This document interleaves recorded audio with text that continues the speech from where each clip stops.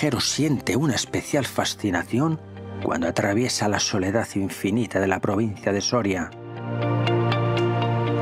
Ya tiene la suficiente experiencia, no en vano guarda en su mochila argumentos suficientes como para realizar una sonora reivindicación de esta tierra olvidada. Rello, barcones, hielo, carrascosa de abajo, la riba de escalote, son algunos ejemplos, referencias ya inolvidables en su memoria. La comarca del Burgo de Osma guarda un patrimonio monumental repleto de iglesias románicas, castillos, fortalezas, atalayas, construcciones erigidas en época medieval, así como importantes yacimientos arqueológicos de época celtíbera y romana. Una espectacular naturaleza donde se mezclan magníficos espacios naturales con extensos campos de cultivo, bosques de encinas, sabinas, pinos y la gran arteria fluvial del río Duero, drenaje imprescindible de la zona. Durante siglos, este territorio fue disputado entre cristianos y musulmanes y la consecuencia de un importante legado cultural repartido entre sus pueblos. Pero el viajero no quiere distraer más su atención cuando está a punto de llegar a uno de esos lugares considerados en la literatura y otros comentarios afines como del fin del mundo. Caracena, próxima cita imprescindible en la agenda del viajero, está situado en un entorno de tierras ásperas y calizas, en terreno pedregoso y montañoso, en las estribaciones de la Sierra de Pela y los picos de Grado, con carrascas, chaparros, enebros salpicando el paisaje. Tres profundos cañones o barrancos de espectacular belleza rodean el pueblo, los de las gargantas, pilones y caracena, trazados como un parapeto de protección y un abismo salvaje a la vez. Contraste, regado por el río Caracena, hay una dehesa de pastos y una vega donde se cultivaban verduras y hortalizas para uso propio, aunque lo que más abunda es el cultivo de cereales. Llama la atención en los alrededores las evidencias de la gran fortificación que tuvo lugar, con una alcazaba califal y una fortaleza musulmana, cada una en un extremo del pueblo. Es la evidencia de que esta zona estuvo mucho tiempo en la franja divisoria que separaba los reinos cristianos y musulmanes. Además, hay quien asegura ver referencias a la Orden de los Caballeros Templarios, y se sabe, a partir de informes de la Inquisición, que el pueblo contó con una judería con su propia sinagoga que fue arrasada durante una sangrienta devastación en 1391. Desde el burgo de Osma, por la carretera local 4123, el río Caracena y rocas de formas caprichosas acompañan el trayecto.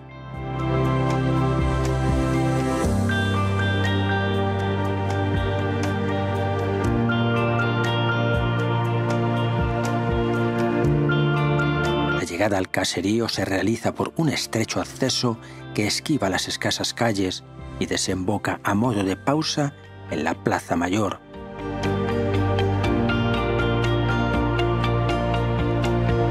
En mitad de la plaza destaca la picota o rollo, según se considere, pues la picota significaba lugar de castigo y patíbulo, privilegio que fue concedido a determinadas villas durante la Edad Media al adquirir el título de señorío, mientras que el rollo, más simbólico también, fue utilizado como lugar de humillación y condena. Fue construido en 1538 y restaurado en 1738 según consta inscrito en él.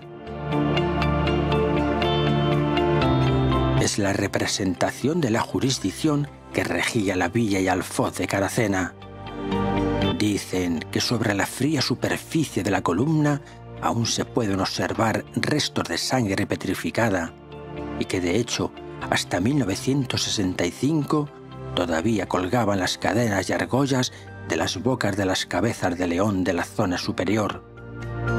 El viajero siente un estremecimiento especial imaginando algunas escenas que se vivieron en este lugar. A pocos metros sobrecoge la presencia de la antigua cárcel de Caracena, edificio del siglo XV. Un bloque cuadrado y compacto con aspecto de torreón aparece como una prolongación de los sufrimientos que algunas gentes padecieron en la vecina Picota. También conocido como palacio, con lo que se presupone que bien podría haber formado parte de una construcción mayor y que con el cambio del sistema penitenciario del país en las primeras décadas del siglo XX abandonó sus funciones carcelarias. Malhechores e inocentes, delincuentes y honestos, brujas y miserables ¿Qué le podría importar a la entonces Santa Inquisición para cumplir con su siniestro objetivo? Es pequeño, restaurado, como sinónimo de un pasado imprescindible en la vida rural.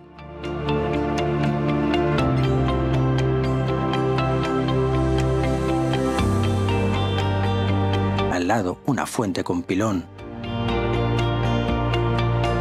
el ayuntamiento es austero, no destaca del resto de las casas de la plaza. El viajero quiere hacer especial mención en cada cena a los carteles informativos colocados junto a cada uno de los monumentos, edificios o elementos más significativos, y lo cierto es que son muchos. En este caso están cuidados, informaciones claras y concretas, ilustraciones y dibujos apropiados, un lujo que viajeros y visitantes sin duda agradecen.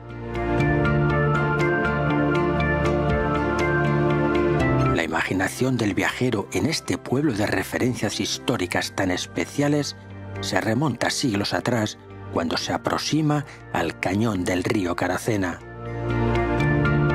Por este cañón de unos 16 kilómetros y de vuelta entre Tarancueña y la villa de Caracena pasaron los antiguos viajeros que atravesaban esta ruta de la lana, o los peregrinos jacobeos que a través de este paraje se afanaban en llegar a Burgos y así al camino francés.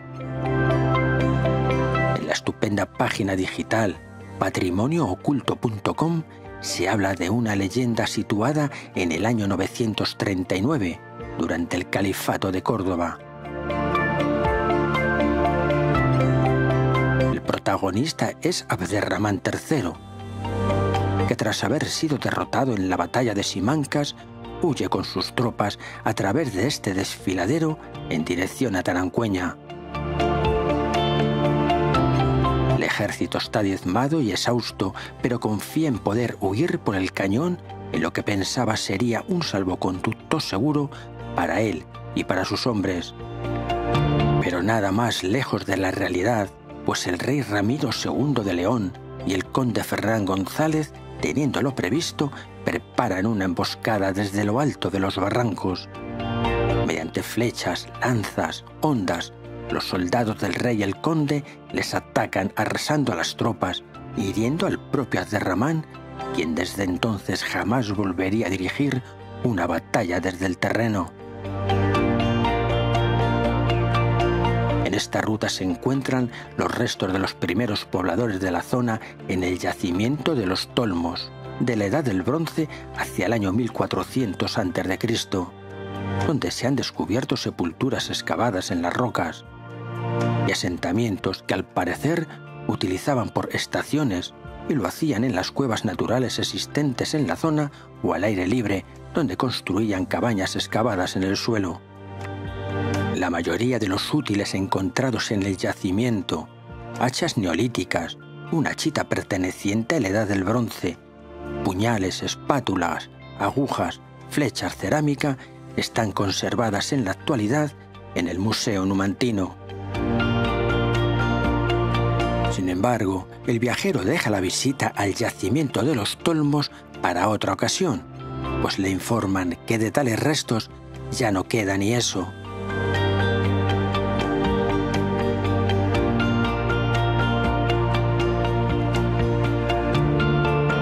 Es de los pocos seres humanos que encuentra el viajero. No nació en Caracena, pero sin duda ha descubierto en este lugar aquello que buscaba. Buenos días. Buenos días. Estoy en Caracena. Sí. Bonito pueblo, sí, señor. Pues sí, sí. Todo el mundo que viene dicen que es muy bonito, sí. ¿Nació usted en Caracena? No, somos de Marruecos, pero como no teníamos pueblo, compramos algo por aquí. Ah, muy buena idea, sí, señor. ¿Y esta es su casa? Esta es mi casa, de atrás, sí. Bueno, es bonita la casa, Que la ¿eh? hemos hecho poquito a poco porque estaba medio abandonada y entre mi mujer y mis hijas y yo la hemos ido haciendo poquito a poco. Pues y- está quedando, ha, quedado, ha quedado bonita, ¿eh? Sí, señor. ¿Cómo se llama usted? Manuel, Manuel. ¿Y hace mucho tiempo que tiene la casa en el pueblo? sí, 30 años. La 30 compramos años. En el 90, bueno, ahora van a hacer 33. Pero no vive usted aquí. Venimos cada 15 días. Cada 15 y en verano, como se está muy fresquito, aquí es donde estamos. Caracena tiene de todo, ¿eh? Tiene de todo, tiene de Tiene todo. todo. Pequeñito, pero no le falta de nada. Exacto, tenemos mesón, tenemos iglesia, tenemos río, tenemos... Está muy bien aquí. Y en verano 10 grados menos que en Madrid y que en otros sitios también. ¿Qué opina usted de los pueblos pequeños? ¿Tienen futuro? Ah, no, es una pena que estén tan abandonados, pero que, que, que deberían, mire usted, aquí están buscando trabajo los del mesón, gente para trabajar y no quieren venir. Es, hoy en día con las subvenciones no quieren. Y hay trabajo aquí. Están buscando gente para hacer casas, están buscando y no quieren, no quieren. Así que es una pena. Pero si no fuera por nosotros que venimos y levantamos las casas Claro. y hemos hecho varias casas, esto se vendría abajo. Es una pena. Pues que pase usted buen día. Muchas gracias. Muchas gracias a usted. El llamado Fortín está situado en un extremo de la localidad. Esta torre deriva de los comienzos de Caracena, cuando dispuso de un sistema defensivo formado por una muralla y este fortín, cuya posición estratégica en el valle hizo que desempeñara funciones defensivas y de vigilancia, aunque también pudo ser empleado para proteger un área ganadera. Originalmente la torre se distribuía en tres pisos. El inferior estaba destinado a almacén de víveres y armamento, y los superiores a cuerpo de guardia y dormitorio. En la calle San Pedro se pueden observar las ruinas de la Casa de la Tierra, el edificio en el que pernoctaban los representantes de las aldeas y se celebraban las juntas vecinales. De los restos destaca una ventana con arco conopial de influencia musulmana. Según algunos historiadores, también sirvió como hospital. En él se atendía a los enfermos y se daba cobijo a los pobres y transeúntes. Asimismo, era utilizado por esquiladores, ganaderos y comerciantes de la lana, que unía esta misma ciudad con el gran centro productor de La Mancha. Frente a este edificio, un mesón y bar, donde poder degustar los productos de la tierra. El viajero no tarda demasiado en recorrer las escasas calles de Caracena. Ya no hay carretera más allá de la empinada cuesta que sube al castillo, a pesar de los diversos proyectos de unirla con Tarancueña a través de la hoz del río Caracena. La historia parece haberse detenido en la Edad Media y desde entonces haber sido abandonada a su suerte. A esa despoblación que marcará su destino sobre todo a partir de los años 60. En el año 2022 el pueblo tenía censados 14 habitantes. El periodo más importante en la historia de Caracena corresponde a esa Edad Media que parece haber quedado atrapada en las cicatrices de sus callejuelas. Su ubicación fronteriza entre los reinos cristiano y musulmán la convirtieron en una importante plaza fuerte. Fue repoblada y convertida en comunidad de villa y tierra en la segunda mitad del siglo XI, llegando a tener más de 20 aldeas bajo su jurisdicción. Fue señorío desde el siglo XIV y cuando se despobló Tiermes, Caracena pasó a ser capital de la comarca. En el censo de 1789, ordenado por el marqués de Florida Blanca, figuraba como villa cabecera del partido de Caracena en la Intendencia de Soria. La caída del antiguo régimen, Caracena se constituye en municipio constitucional en la región de Castilla la Vieja, partido del Burgo de Osma. Este importante bagaje histórico impregna el ADN de sus calles y monumentos, que han hecho a esta villa merecedora de ser declarada bien de interés cultural con la categoría de conjunto histórico desde el año 2009. Viajero que ya ha tenido oportunidad de disfrutar parte de su rico patrimonio histórico se dispone a conocer algunas de las joyas de la corona de esta aldea. La iglesia de San Pedro, situada en lo más alto de la villa, es actualmente la parroquia de Caracena. Su construcción original pertenece al siglo XII.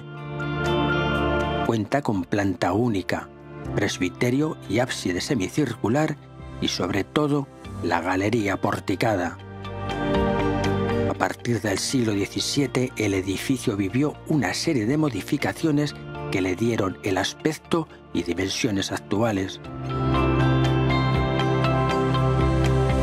También es posterior la torre que se asienta sobre el tramo rectangular del presbiterio.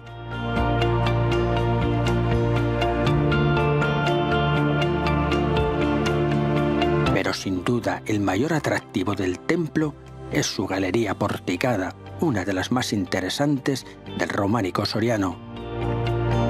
Actualmente conserva solo siete arcos de los nueve originales tras las reformas y modificaciones de la iglesia del siglo XVII. Estos siete arcos representan a las siete iglesias que se salvarán en el fin del mundo, según el libro del Apocalipsis.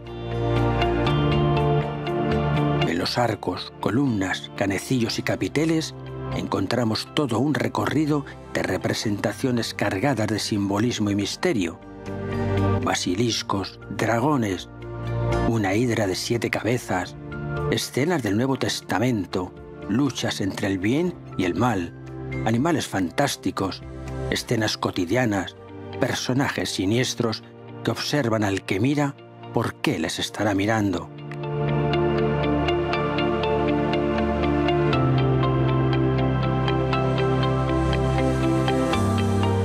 Merecen especial atención los 25 canecillos que sustentan la cornisa de la galería. Están finamente labrados con representaciones de animales fantásticos y otras figuras geométricas y de animales. En todo el conjunto escultórico se hace evidente la influencia de la Catedral del Burgo de Osma y del claustro del monasterio de Santo Domingo de Silos.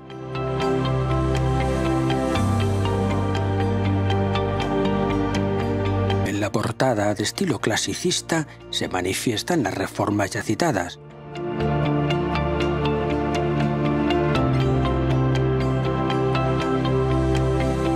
En el interior de la iglesia de San Pedro, un esbelto arco apuntado da paso al presbiterio, presidido por un retablo barroco que enmarca un magnífico lienzo de principios del siglo XVIII y que representa a San Pedro Apóstol. Está firmado por Antonio Palomino, pintor barroco de la escuela madrileña. A ambos lados del lienzo, las tallas anónimas de San Blas y San Nicolás. Frente a frente, los retablos del Santo Cristo y Santa María, realizados en el siglo XVIII.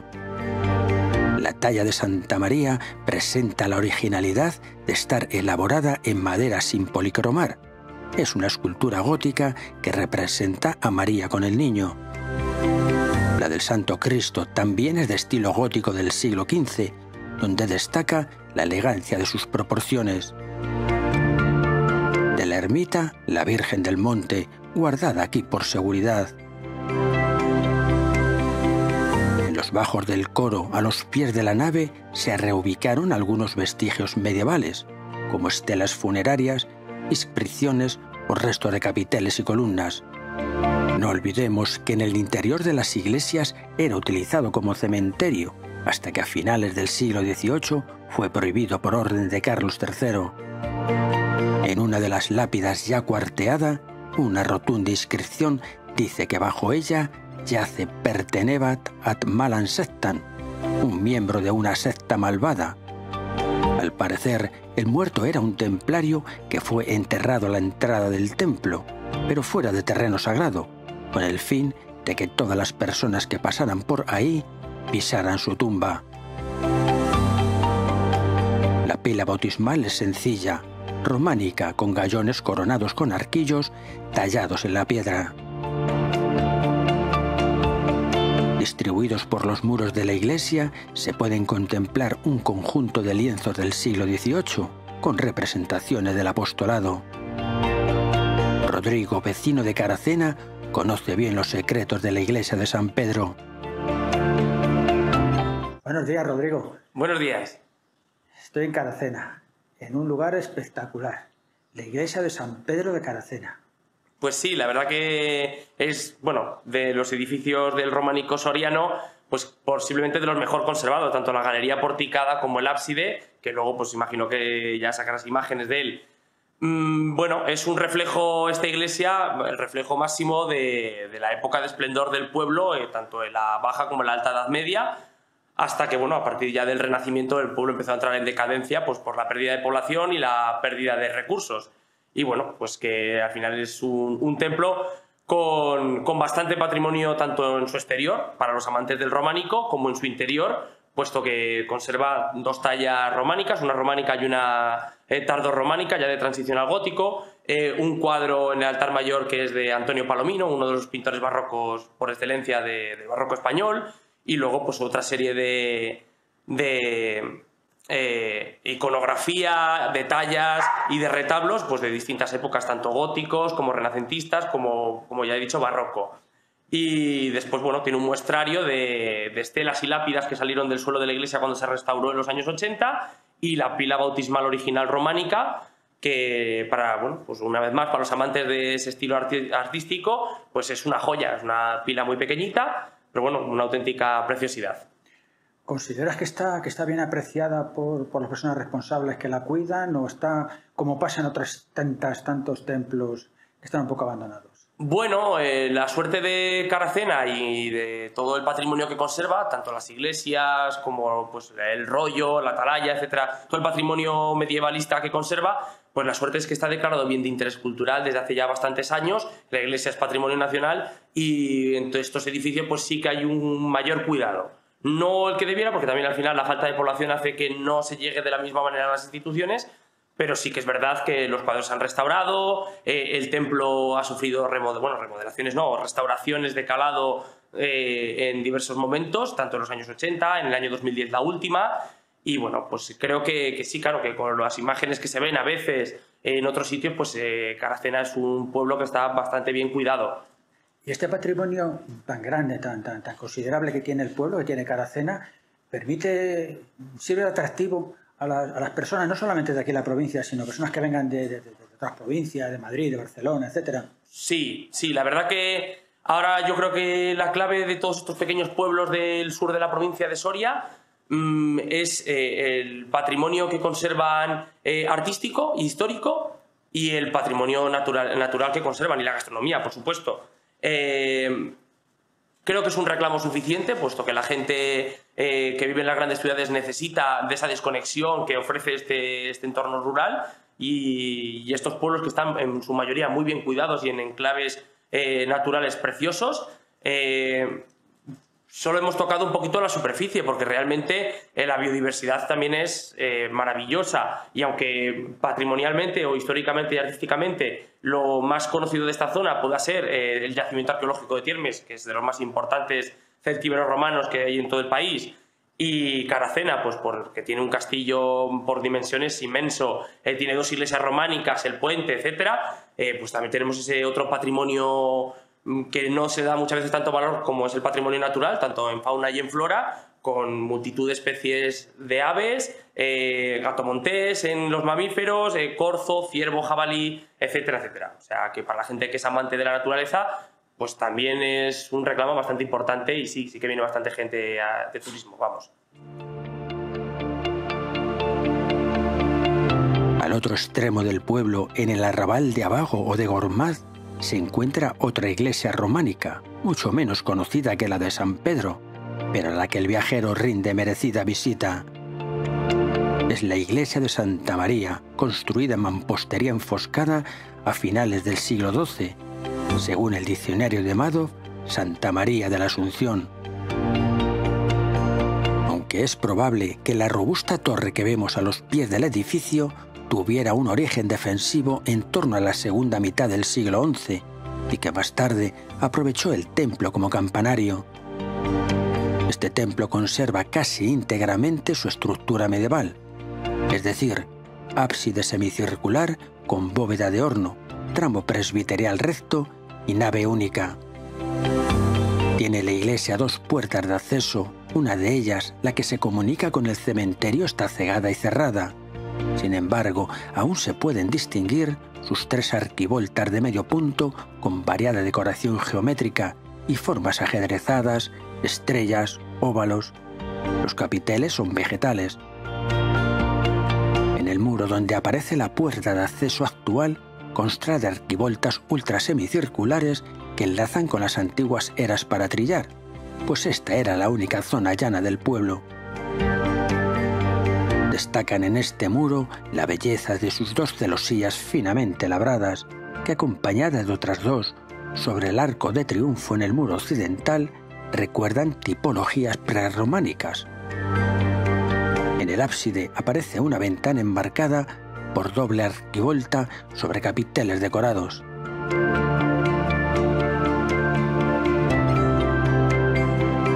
Del interior cabe reseñar la decoración figurada de los capiteles que soportan el arco de triunfo, con gran variedad de animales fantásticos, grifos, centauros, arpías, eso sí, de factura más tosca que la ventana absidal.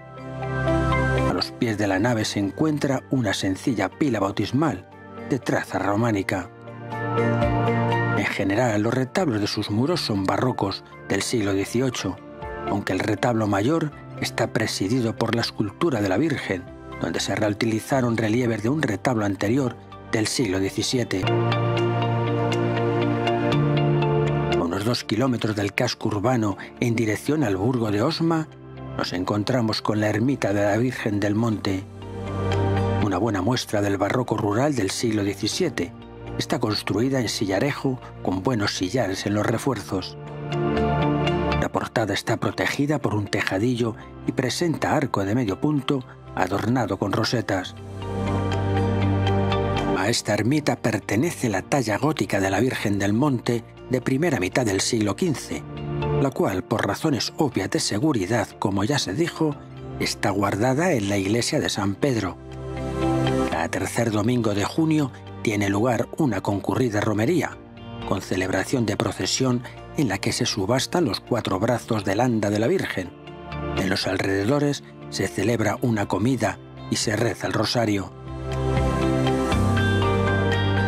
Al lado se encuentran los portalejos, un edificio auxiliar de la ermita utilizado antiguamente en las fiestas y romerías. Ha sido reformado en varias ocasiones, la última en el año 2012.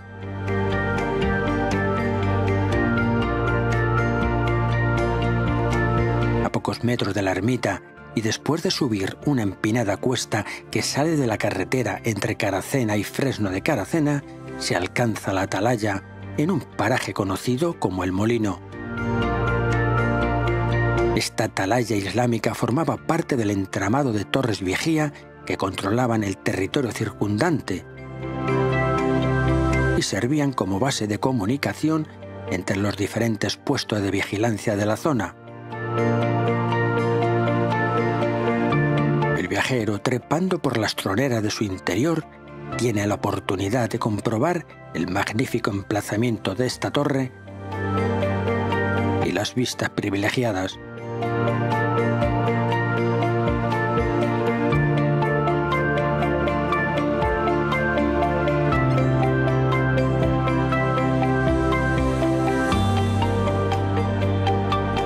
torno a Caracena, poco antes de entrar en el pueblo por un camino de tierra, se llega a una fuente y abrevadero, encargados de abastecer a la población en siglos pasados. Aunque muy bien restaurados, su origen puede ser medieval, vinculados al castillo y al caserío. Hay que continuar el camino unos cientos de metros para llegar al puente Cantos, sobre el río Caracena. Este puente tuvo vital importancia para el devenir histórico de la comunidad de Villa y Tierra, pues posibilitaba el tránsito entre Caracena y las principales plazas fuertes situadas a ambos lazos del Duero, así como la comunicación con varias aldeas vecinas, como Pozuelo, La Perera, Madruédano y de Retortillo. Su origen es alto medieval, fabricado íntegramente con sillares, tal y como testimonian los restos conservados en arco y tímpanos. Su actual aspecto data de su última reconstrucción en el año 2012. Este camino es un tránsito visual entre las casas del pueblo desparramadas por la ladera y la vega, donde abundan los cereales y se supone, hace algunos años, las fértiles huertas.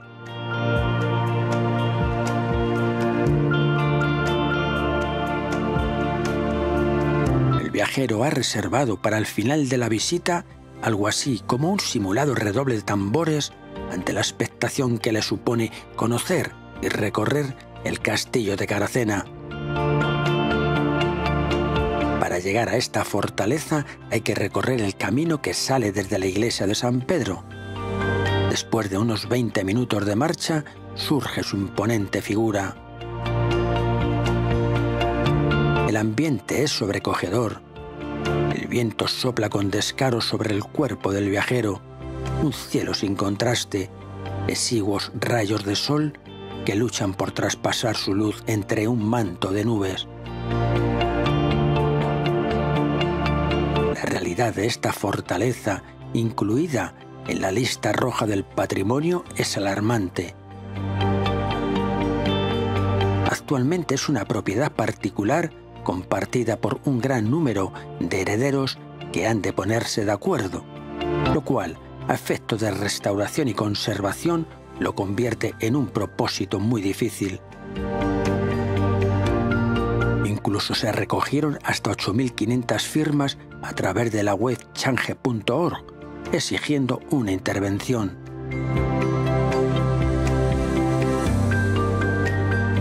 Si no hay soluciones urgentes de la singular belleza de esta fortaleza, solo quedará un montón de piedras y escombros.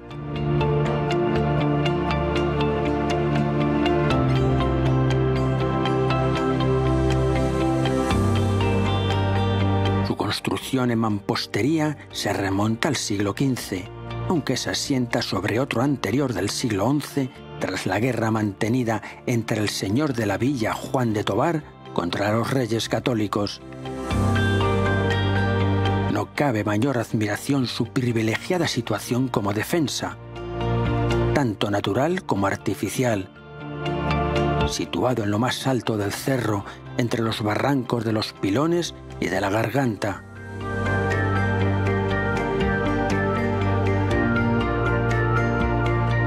Tiene el castillo dos recintos, uno interior y otro exterior. El interior formaría el núcleo principal con diferentes estancias, el patio de armas y el aljibe. Dos de sus cuatro esquinas rematan en cubos cilíndricos, mientras que las otras dos albergan la puerta, flanqueada por torreones cuadrados, y la torre del homenaje, que es el elemento más destacado.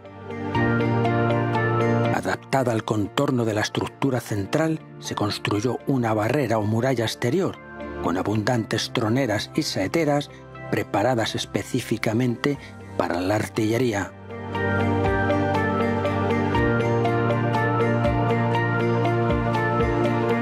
largo de su perímetro se distribuyen hasta 10 cubos circulares huecos, provistos de cámaras de tiro.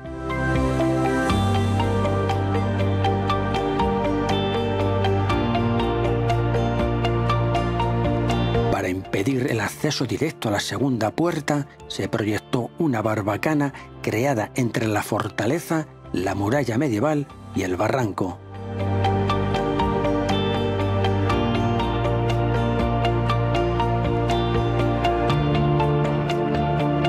foso artificial que completaba la defensa directa del recinto se salvaba con un puente levadizo.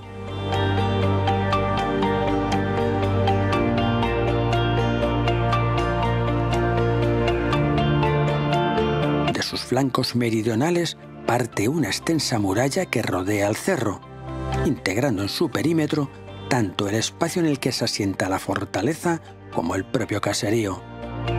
De ella quedan reducidas evidencias a lo largo de su trazado. Son muchos los detalles que los visitantes y amantes de los castillos pueden disfrutar, como son sus cinco garitas, unas torres cilíndricas que aparecen adosadas a la parte superior del muro, rematadas por almenas donde se situaban los tiradores. Tuvieron un alto valor estratégico y funcional, aunque con la aparición de la artillería solo subsistieron como elemento ornamental y simbólico.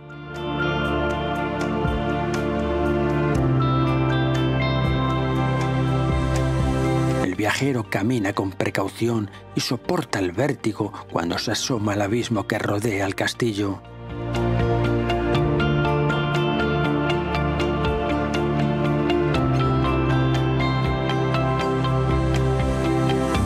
La imaginación se desliza entre las rocas de los farallones y parece escuchar los sonidos de otras épocas.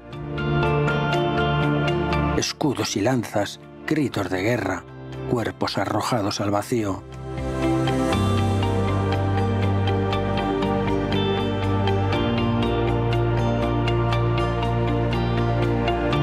El viajero al final del día trata de poner en orden las muchas experiencias vividas en jornada tan especial. El municipio de Caracena podría ser considerado como un resumen de las riquezas monumentales, históricas y ambientales de la provincia de Soria. En un potencial catálogo donde enumerar el patrimonio de la provincia, este pequeño pueblo, tan amenazado por la despoblación, ocuparía varias páginas. Hay que recorrerlo, conocerlo, disfrutarlo y, por supuesto, conservarlo. Viajero continúa su camino.